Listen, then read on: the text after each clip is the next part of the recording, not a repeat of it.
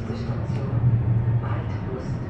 Umsteigemöglichkeit zu den Buslinien der Stadtverkehrsoberhausen. Ausstieg